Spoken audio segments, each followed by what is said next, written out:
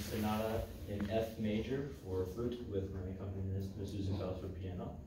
Um, something that's kind of interesting is this piece has three different time signatures in it. It goes from common to three fourths to um, six eight, which allows for kind of different feels through in each movement. So. Great, thank you. Good luck.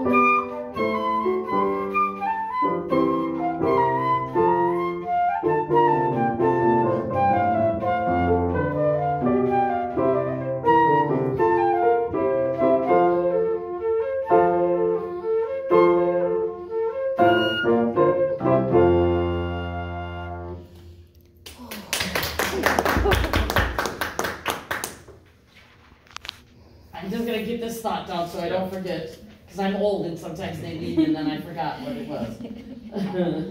okay. No pressure. Okay, thanks. okay, there. Um, very nice job. Thank you so much. I think on that very first one, you could fill up your sound a little bit more. It starts forte, okay. right? Yeah. yeah. Dum bum bum bum. Yeah, just go ahead and sing out there because very quickly by measure four we're down to mezzo piano. Right. And the bigger those contrasts are, the nicer it is. So that's that's kind of cool. Keep your tone focused. Very occasionally today, I heard it just like didn't uh, like you got some sounds in there that you weren't intending. I think like, and I think it just wasn't focused really good at that point in time. Um, your overall, you did a great job, and you've got a lot of skills with the notes. In the second movement, particularly, your trills are incorrect. So, what is the rule on trills? So it's the next one, Next one, what next one, or like, uh, ish? or like down or up to like where the next. Okay. So, I'm going to give you the rule on trills. In the Baroque time period, which Telemann is. Okay. You must start them. Okay, the note, the note always goes, the trill always goes from the note on the page, Mhm. let's say it's D, Yeah. to the note above it within the key. So you must account for a flat or a sharp. If it's a D to E flat, you would trill that, you know, with your pinky. If it's D to E natural, that's a completely different trill. Gotcha. And you have to start on the higher of those two notes. So, for example, um, yeah, let's look at the Largo on the the C sharp in measure three. Okay. Say so. The basic trill is C sharp to D natural. That's what we're going to. But you'd have to start with a little grace note, and I don't have that. I know that little ossia part. I didn't have that with me right here. You want to start that on the D, and then go to the C sharp. So da da di da di da di da, ba da di da di da di da. And then I also don't think you were trilling it. Well, maybe it was really out of tune because it's a C sharp, but I know that some of the other trills were not quite the right notes. Yeah. That's okay. Just fix it. Just go through and know what, because we have to be like the experts on the trills. Us and the oboe and the clarinet, we're like the experts. So Get it wrong. Right. so um, just just be just be aware of it. Be careful with it. You know that kind of thing. Um, I really liked your tempo on the allegro. Uh, watch your articulation a couple of times with the dee da da dee da da in those kind of triplety things there. Yeah. The tonguing got a little bit away from you, so just be just a little bit careful with that. But really nice job overall. It's a great solo for you. Well, Thank you.